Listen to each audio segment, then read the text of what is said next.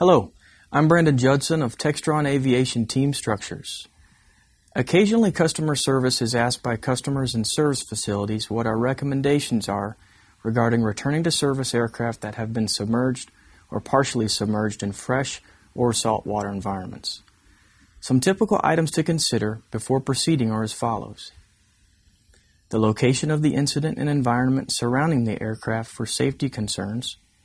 What special tools and equipment will be necessary for recovery? Is the aircraft in salt or fresh water?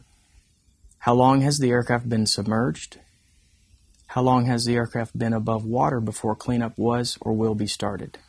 Some things to consider with regards to the airframe itself. You will want to slowly remove the aircraft from the water.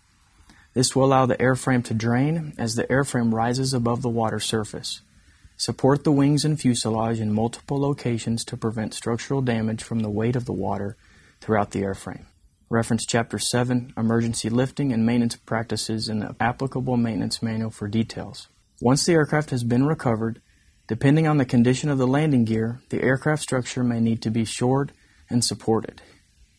Reference Chapter 7 in the applicable maintenance manual for details. Next, conduct a symmetry check to understand the general condition of the airframe. Centerline and attach point drawings may also be available from customer service to help determine straightness of the airframe. Reference Chapter 51 in the applicable maintenance manual for details. Remove all interior components to expose the aircraft structure. Remove the flight controls, wings, rudder, elevators, horizontal, and vertical stabilizers to facilitate better cleaning of individual structural subassemblies. Consult the aircraft maintenance and service manual for instructions on disassembly of the airframe. You will then want to remove all subcomponents, including, but not limited to, actuators, bell cranks, and push rods. Thoroughly rinse all components and airframe inside and out with fresh water. Dry all components and airframe. Apply corrosion inhibitive products. Consult the applicable aircraft maintenance service manuals for approved products. Replace all bearings, including but not limited to roller, needle, and bushing type bearings. Check for structural damage. If available, follow overspeed and overweight landing inspections for reference. If damage or corrosion is found, please document the damage and report it to Team Structures using the Structural Damage Report form. Regarding the power plants, avionics, motors, instruments, landing gear, etc., overhaul or replace all components. Consult component maintenance manuals and or vendor publications for details. If the aircraft is equipped with rubber fuel tank bladders, they will need to be replaced as well.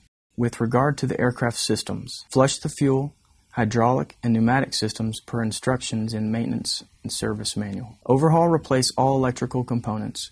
Replace all wire bundle assemblies and connectors. Consult vendor publications for instruction on disposition of electrical motors. Clean and lubricate all flight control actuators, linkages, and pulleys. Replace all primary and secondary flight control cables and bearings. Before the aircraft is returned to service, thoroughly check all systems and equipment for proper operation per aircraft and component maintenance manuals. Ensure all removed items have been reinstalled or replaced as required prior to the test flight. Please note, Textron Aviation has not developed a continued airworthiness program for any aircraft that has been submerged in any kind of water, salt or fresh. However, the guidelines provided in this video are valid for aircraft that have been recovered and cleaned up within 48 hours of initial immersion in salt or fresh water.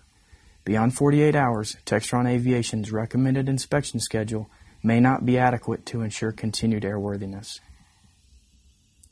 As always, reference your aircraft maintenance manual and service information for your specific aircraft for details and procedures. I hope you find this information helpful. For additional questions and or support, please contact Team Structures at 316 517 6061. Thank you for your time.